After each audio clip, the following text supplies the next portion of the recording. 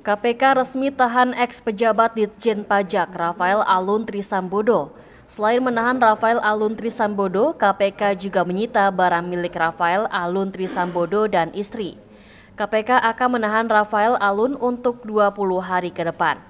Selain mengumumkan penahanan Rafael, KPK juga menampilkan barang bukti sitaan hasil penggeledahan yang dilakukan tim penyidik. Adapun barang milik Rafael dan istri yang disita KPK antara lain dua buah dompet, satu ikat pinggang, satu jam tangan, 68 buah tas, 29 perhiasan, serta sejumlah uang pecahan dolar Amerika Serikat, dolar Singapura, euro, dan rupiah.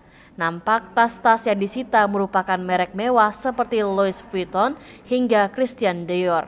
Sebagaimana diketahui, Rafael Alun Trisambodo telah berstatus tersangka berdasarkan surat perintah dimulainya penyidikan per 27 Maret 2023. Dia diduga menerima gratifikasi dari para wajib pajak melalui perusahaan konsultan perpajakan 2011 hingga 2023.